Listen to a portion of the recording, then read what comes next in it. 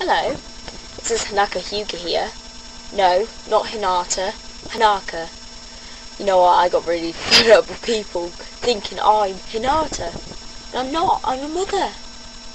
I'm Lady Hanaka Hyuga. I'm married to Hiashi. Don't even get me started on Naruto. He thought I was Hinata and tried to hit on me. Oh yeah, and all four you that don't know, Hinata likes Naruto a lot. And some dong has been spreading rumours around that I don't like Naruto. Well, I do. He's alright. He's just a bit stupid at times. I mean, come on. He needs to read between the lines and see that Hinata really likes him. Unless he's just playing hard to get her, he's playing it cool. Anyway, yeah. If all you out there think that I married Hiashi for his money, excuse my French, but fuck off. I loved him. He's a right idiot now, but I loved him.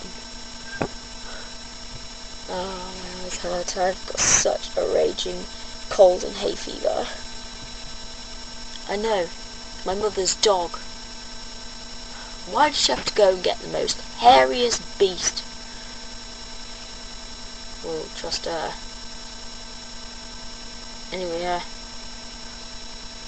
My mother's come to stay. Back from the rock village. I know she was born in the stone village and now she's gone to visit her auntie.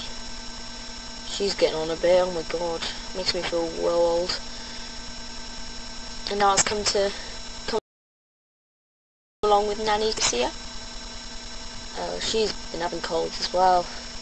But me, I feel well young compared to her. I worry more about her than I do about myself. Busy mama too, and married to Yashi, is hard work for anyone.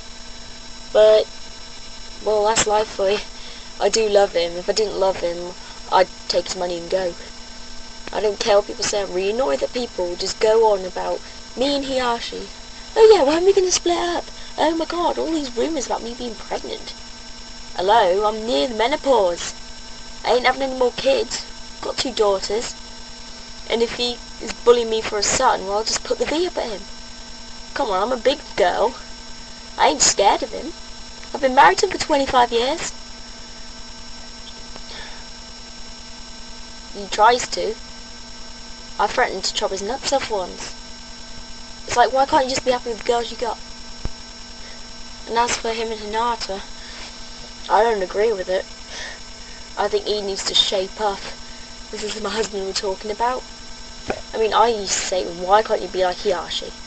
At least he cares about his wife and his son. You know, you should have been Neji's father.